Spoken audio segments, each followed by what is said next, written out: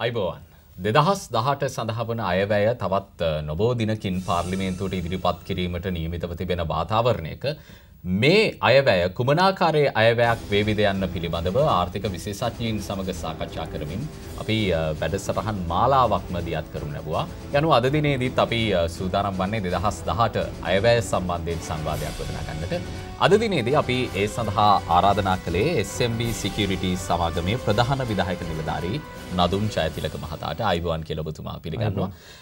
නදුන් චෛතිලක මහතා විශේෂම මේ කොටස් වෙළඳ පොල ආයෝජන කැඳවා ගැනීම සඳහා රටකට බොහොම පහසු ස්ථානයක්. ඒ වගේම මේ සම්බන්ධයෙන් නව සුරකුම්පත් සහ විනිමය කොමිෂන් සභහ පනතක් ගෙනෙන බව දෙදහස් දාහත අයවැෑන් යෝජනා වුණා. මේ පිළිබඳව වර්තමාන තත්ත්වයකුමක්ද. ඔව් ඇතරම මේ පනත ගේන්න යෝජනා වෙලා මංහිතන දැ පාර්ලිමේන්තුවේ පනත තියෙන්නේ.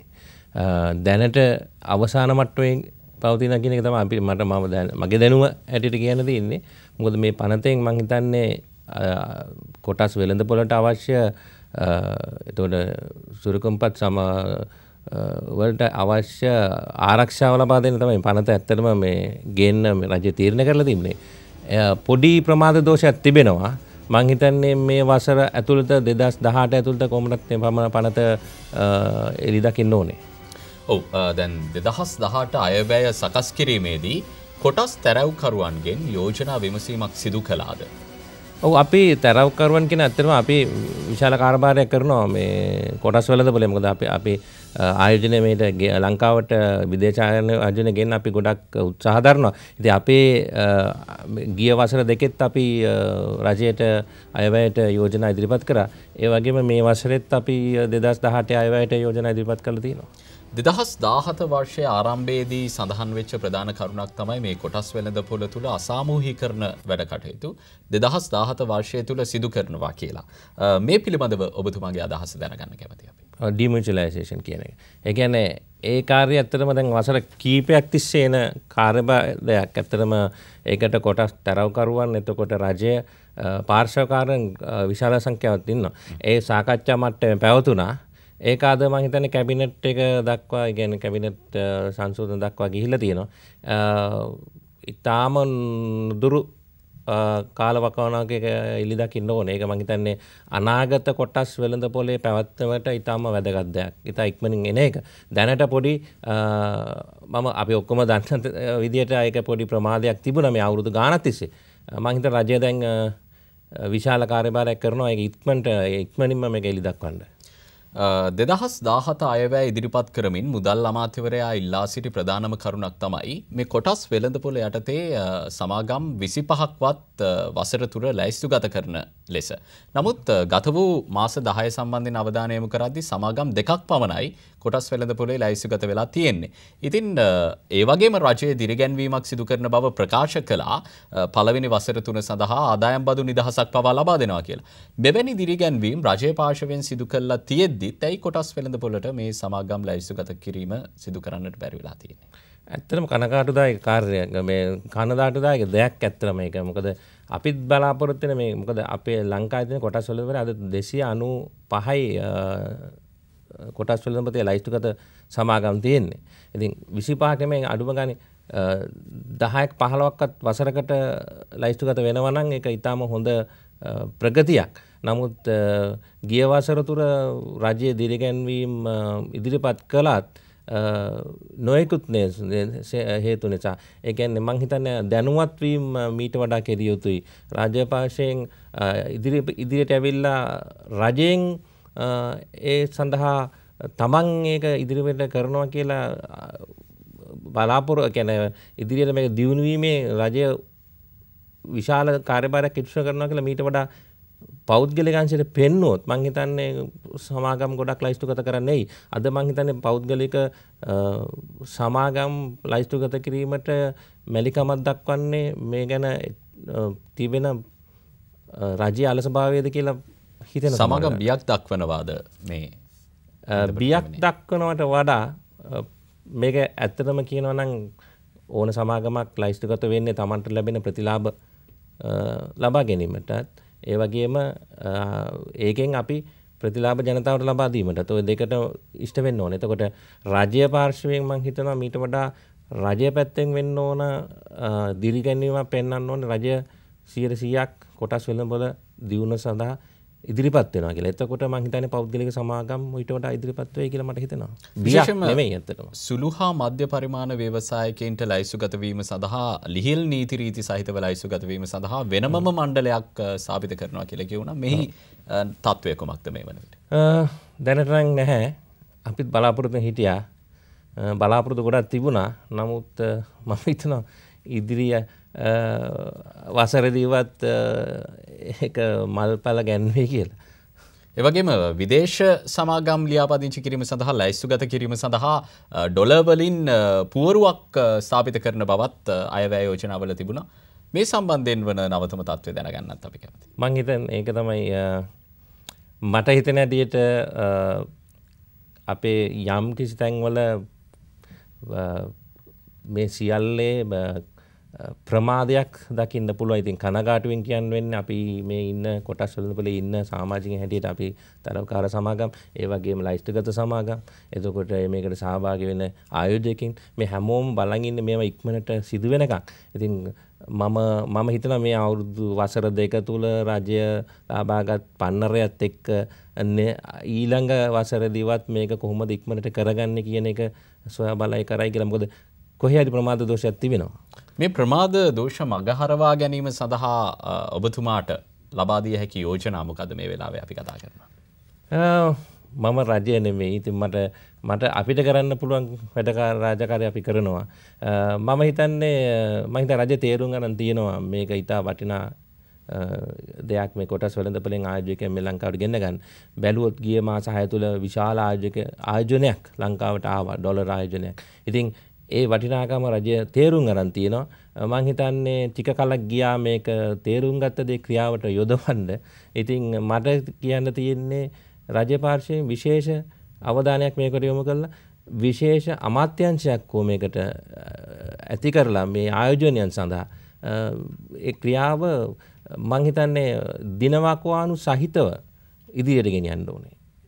ඉදිරිපත් කිරීම පමණක් මදි ඒ කියන්නේ ප්ලෑන්යක් තියෙනවා ටාගට් ඩේට් එකක් තියෙනවා. ඒ වගේ අපි මොකක් හරි කරනවා නම් මේ යන අපි ටාගට් ඩේට් එකට යන්නේ කොහොමද? මේ ප්ලෑන් එක මොකද ඉම්ප්ලිමන්ට් කරන්නේ කොහොමද? එහෙම අපි බලනවා. අනේ ඒ වගේ ක්‍රියාවලියක් තුලින් රජය මේක ගෙනිත්තොත් මම හිතනවා මීට වඩා විශාල සාර්ථකත්වය ලබා ගන්න පුළුවන් කියලා. හොඳයි අපි දෙදහස් දහට අයවැය සම්බන්ධයෙන් සාකච්ඡා කරන්නේ අද අපත් සමග සාකච්ඡාවට සහභාගී වී සිටින්නේ SMB සිකියරිටීස් සමාගමේ ප්‍රධාන විදායක නිලධාරී නදුන් ජයතිලක මහතා අපි සූදානම් කෙටි විරාමයකට වන්නට විරාමෙන් අනතුරුව තවදුරටත් සාකච්ඡාව සමග සම්බන්ධ වීමට ඔබට හැකියාව තිබෙනවා.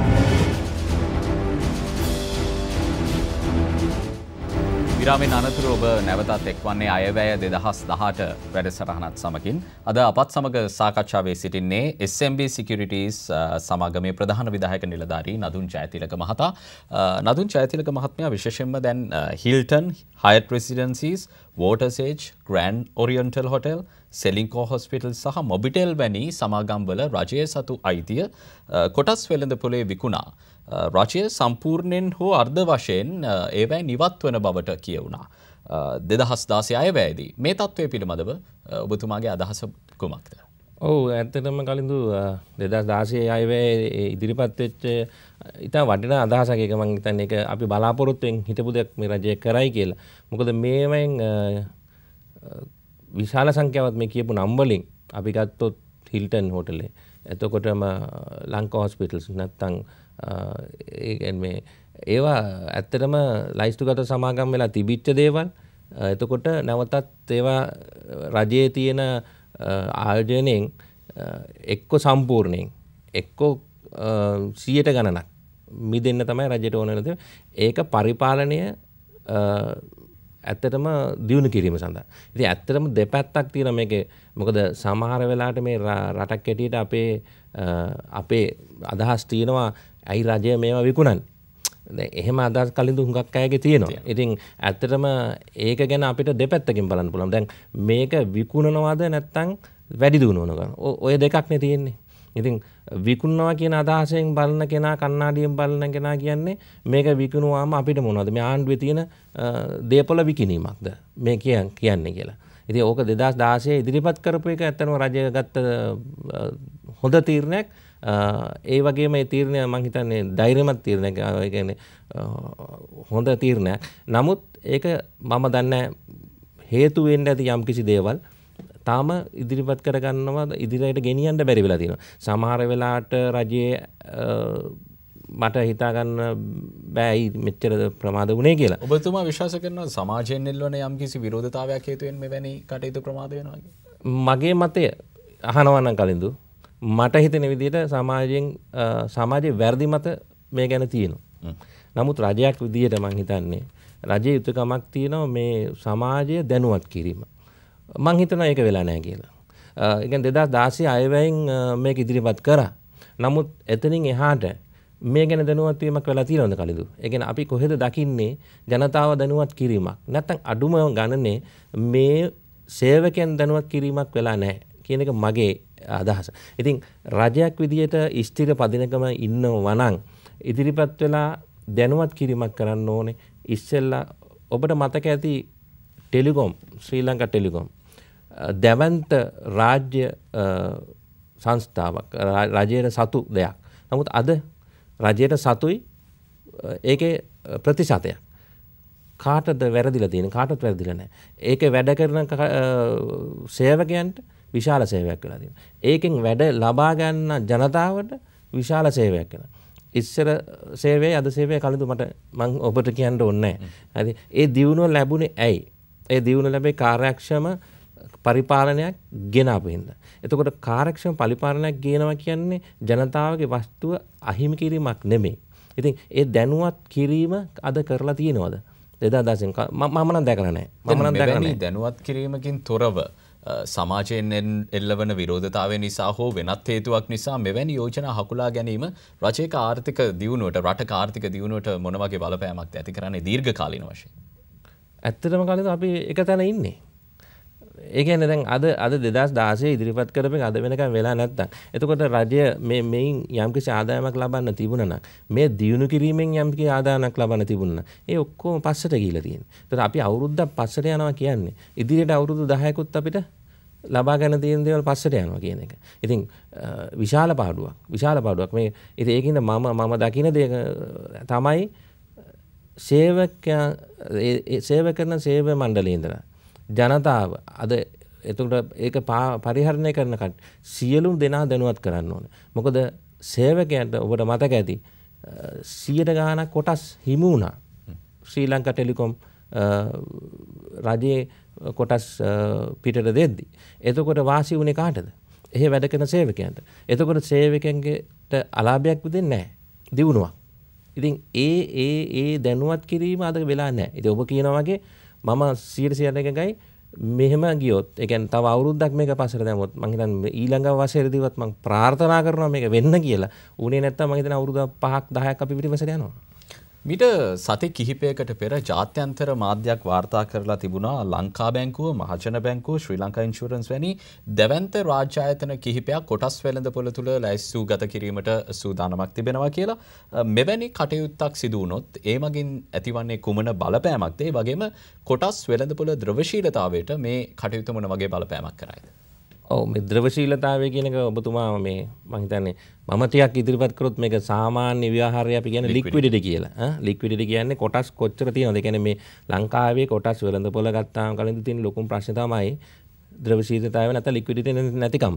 එතකොට ආයෝජනයේ ආයෝජනය කරන සල්ලි තමන්ගේ ලාභය හෝ අලාභය ලාභය ලබා ගැනීමට තමන්ට බලන් ඉන්න ඕනේ ද්‍රවශීලතාවයක් තියෙන මාගට් එක එතකොට ලික්විඩිටි කියන එක නැත්තන් තමයි ප්‍රශ්නයද එතකොට තම ආයෝජකයන් එන එක ප්‍රමාද වෙන්න. එකද මේ ලික්විඩිටි කියන එක ඉතාම අවශ්‍ය දෙයක්.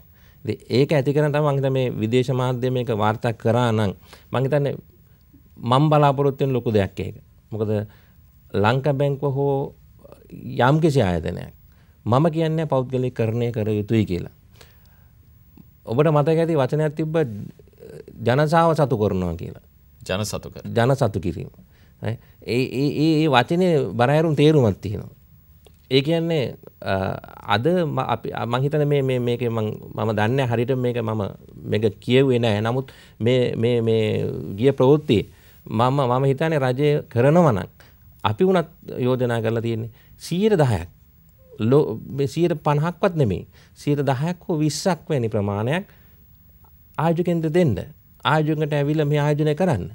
අපේ තියෙන ධනයෙන් අපි ආයෝජනින් ඒ ජනය අපි ලබා ගණ්ඩුවන මොකද අපි මෙච්චර කාරත් ලංකා බැංකුව ලංකාවේ ආයතනයක් හැටියට තියාගෙනඉදලා එකෙන් සීර දහැ කාට හරි ලබාදීලා ඒ මුදල් ප්‍රමාණය ආපහු යොදවන්නේ කාටද? ලංකාව බැංකුවේ දියුණුවට. නැත්තම් රජයේ දියුණුවට. ලංකාව බැංකුවේ දියුණුව කියන්නේ එයින් එන්නේ රජයේ රජයට ජනතාවට ලාභ. ඉතින් ඒකින්ද මම මම කියන ඔය 10ක් හෝ 20ක් ඊට වඩා දෙන්න එපා ඊට වඩා දෙන්න උවමනාවකුත් නැහැ ඕන තරම් ආයෝජක ගෙන ගන්න පුළුවන්. එතකොට ලික්විඩිටි නැත්තම් ද්‍රවශීලතාවය වැඩි වෙනවා. ද්‍රවශීලතාවය වැඩි වෙනකොට අපේ කොටස් වල ආකර්ෂණය වැඩි වෙනවා. ඒ ආකර්ෂණය වැඩි වෙනවා කියන්නේ හොඳ ආයෝජකයන්. හොඳ ආයෝජකයන් ලංකාවට එනවා. මම කියන්නේ ඒ කියන්නේ මොකද ආයෝජකයන් ලංකාව දිහා බලන්න අද නොපෙළමෙන එක හේතුවක් තමයි මේ ලික්විඩිටි නැත්තම් ද්‍රවශීලතාවයේ තියෙන ප්‍රශ්නය. ඉතින් ඒ ප්‍රශ්නයට මූලික විසඳුමක් එකන්නේ විශාල විසඳුමක් මේකෙන් ලැබේ කියලා මට හිතෙනවා ඒකට තව මං පොඩි දෙයක් කියන්නම් දැන් ඔය ලංකා බැංක හෝ මහජන බැංක හෝ යම්කිසි විශාල ආයතනයක් මේ පෞද්ගලිකරණය කිරීම නැත්නම් ජනසතු කිරීමට යනවනම් 10ක් හෝ ඒ ඒ ජනසතු කිරීම කරන්න පෙර මම අර ඉස්සෙල්ලා කිව්ව විදියට ජනතාව සහ එහි සේවකයන් සහ ඒට අදාළ සියලුම පාර්ශවයන් විශාල දැනුවත් කිරීමක් කරන්න ඕන. මං හිතන්නේ දැන් රජය කිසිම පියවරක් අරගෙන නෑ එස. මම දන්න මේක කොච්චර දුරට සත්‍ය වාර්තාවද කියලා මං ඒන ගැන මට කතා කරන්න බෑ. නමුත් අපි බලාපොරොත්තු අපි ප්‍රාර්ථනා කරන අපි ඉල්ලන දෙයක් මේක. මේ ලංකාවට සිදුවිය යුතු දෙයක්. අපි බය නැතුව මේක කරන්න ඕනේ. ඕන රජයක්. මං හිතන්නේ ඒ බය නැති තීරණයට ගියොත් මේ ලංකාව මෙතනින් එහාට ගෙනියන්න පුළුවන් ආර්ථික වශයෙන්. ඉතින් ඒක නිසා මම හිතනවා මේක අපේ ද්‍රීම්මයක් නැත්නම් අපේ සීනයක් දැනට. ඒක කමක් නෑ විදේශ මාධ්‍යයකින් හෝ වාර්තා වෙලා ඔබතුමාගේ මාධ්‍යනුත් මේක ඇත්ත හොයලා වාර්තා කරන්න පුළුවන් නම් මං හිතන්නේ ඉදිරියට රජය මේක ගෙනියනවා නම් දැනුවත් කිරීමකින් ද්‍රවශීලතාවය වැඩි වෙයි ලික්විඩිටි වැඩි වෙයි. ඒ වගේම අපේ ලංකාවේ ආකර්ෂණය තව වැඩි වෙයි. හොඳයි. අපි දෙදහස් දහට අයවැය සහ ලංකාවේ වර්තමාන ආර්ථික තත්ත්වය සම්බන්ධයෙන් කතාවක් කරේ. අද අපත් සමග සාකච්ඡාවට සහභාගි වුණේ SMB Securities සමගමේ ප්‍රධාන විධායක නිලධාරී නදුන් ජයතිලක මහතා. ඔබතුමාට බෙහෙවින් ස්තුතියි අද දිනේදී අපත් සමග සාකච්ඡාවට සහභාගි වුණාට. අපි ඉදිරියටත් මෙවැනිම සාකච්ඡාවකින් ඔබ සමග සම්බන්ධ වීමේ බලාපොරොත්තුවෙන් අදට ඔබ සමුගෙන යනවා.